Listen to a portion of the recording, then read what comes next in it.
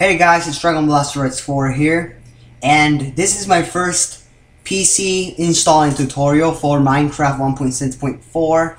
Um, today I will be showing you how to properly install Forge with Optifine to your Minecraft. Now, what you want to um, what you want to do right now is um, open your web browser, web browser, and search up Optifine 1.6.4 installer.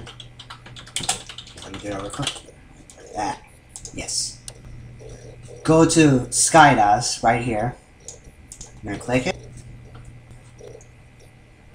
This mod, what this mod does is it improves your um, FPS, might even double it. It adds new features, and it makes Minecraft more dynamic. So scroll down to downloads, click on, click on the ets, dot ets, wait for this 5 seconds over here for the app fly. Let's wait for that. Wait for it. Okay. Okay, now you can drag it to your desktop, right over here. Close your web browser. Open the Optifine Mod installer 1.6.4. Just wait for it. Alright. Install to version. Alright. Don't choose any of these versions. Choose the one where it says Forge default. Alright. This is where it will install Forge for you.